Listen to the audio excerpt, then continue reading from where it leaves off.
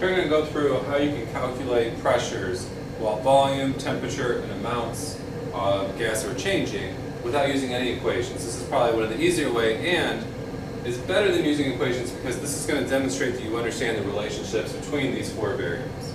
Now, the theory behind this, before we show the actual calculations, is that if we look at graphs of pressure versus absolute temperature, so temperature in kelvins, we look at graph of pressure versus amount of a gas, and if we look at pressure versus volume, we'll find that these two, if temperatures in kelvins, the pressure and temperature are directly proportional. What that means is, if I double the temperature, the pressure will double. If I triple the temperature, the pressure will triple. Okay, that's what's unique about the Kelvin scale. If I double the amount of gas, the pressure will double. If I triple it, it'll triple. It'll go up by some factor of proportionality. Pressure and volume, on the other hand, are inversely proportional, but they are proportional in that inverse relationship. So if I half the volume, my pressure will double. If I third of my volume, my pressure will triple. If I double my volume, my pressure will half. So what we can do is, what we can do is we can do a problem, we can analyze whether, how this will affect the particular thing. So here's how you would set this up. We have a gas law problem. Uh, initial volume of 18 liters, temperature goes from 330 to 450, find the new volume. Surely you could go through and use an equation to solve that. However, the other way to do this is to simply fill out a chart like this. So we have 18 liters of gas to start. Our temperature goes from 330 kelvins. We're in kelvins, that's good, we can write that down.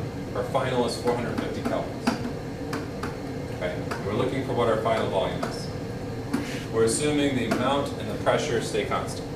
What we can do is we can say, will increasing the temperature cause the volume to go up or to go down? Well, these are directly proportional. So, what that means is increasing the temperature is going to cause the volume to go up, which is very intuitive. If you heat a balloon, you expect it to expand. The fact that it's going to go up and that it's directly proportional means I don't need to do any equations to calculate this. All I need to do is say, I start with 18 liters, and I'm going to adjust it proportionally to these two amounts. So since it's going to go up, you just have to put the, the greater number on top and multiply multiply by this particular ratio of the two amounts. If I take 18 liters times 450 over 330, this is the proportionality constant that this is going to increase by. So all I have to do is plug that in. That's really easy. That comes out to be 24.5 liters, jot around to 25 liters for sig fig purposes. So I don't need to do which equation do I use, how do I plug everything in. All I need to do is analyze whether or not this is going to be 450 over 330 or 330 over 450. Since it's volume, increasing the temperature will make this number get bigger. Let's look at another example.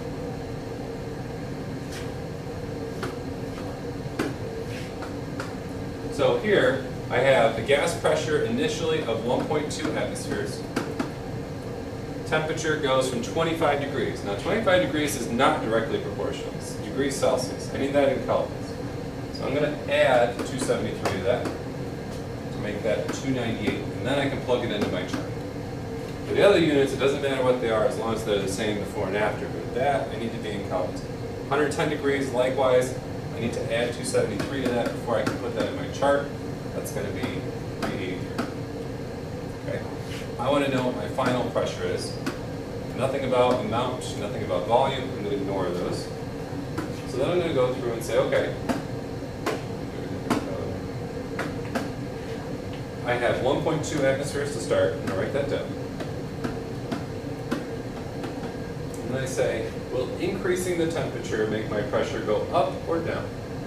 Okay, increasing the temperature, they're going faster, there's bigger collisions, there's more collisions. The effect is this is going to make my pressure increase. So what I'm going to do is I'm going to take my two values here and make them into a proportionality ratio like this. I'm going to put the bigger one on top because I know it's going to make the number go up.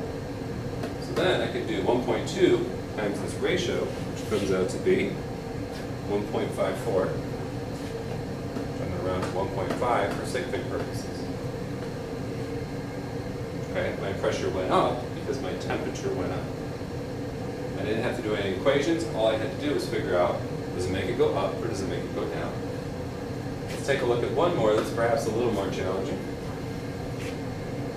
Here, I have oxygen takes up 34.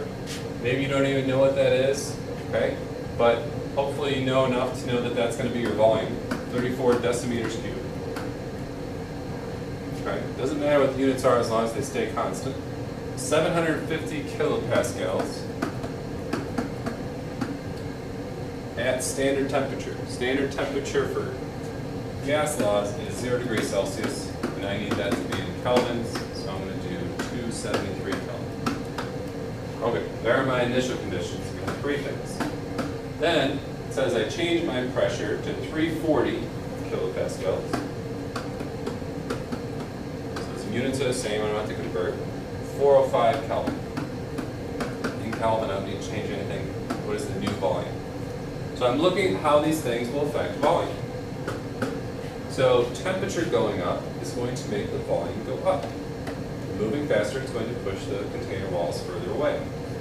Pressure going down, remember the pressure and volume are inversely related. So pressure going down is going to make volume also go up. Make sure I didn't mess that up. I can lie here. Uh, so if the volume goes up, pressure will go down. Yep, so we're set. So we're going to start with our 34 decimeters cubed. We're going to multiply by a factor of these two numbers that makes it go up. Going to put 405 on top. We're going to put 273 on the bottom. And then this one is also going to make it go up. So we're going to have to put the bigger number on top, 750 kilopascals, over 340 kilopascals. Okay. So I'm going to take 34 times this ratio times this ratio, and that comes out to be 111.26. So it looks like I'm going to round that to 110 decimeters cubed. The advantage of this is that you don't have to use the equation ever. You don't have to think about which equation to use or all those things that are really not getting at whether or not you understand this. This is saying pressure goes down, what's my effect on volume? Well, then you're demonstrating an understanding of the relationship between pressure and volume. So this is superior from a tactical standpoint as well as an understanding standpoint. This is the best way to do gas law calculations. So important things to remember, temperature has to be in kelvins, and your units must be the same in after so that they cancel when you do your proportionalities.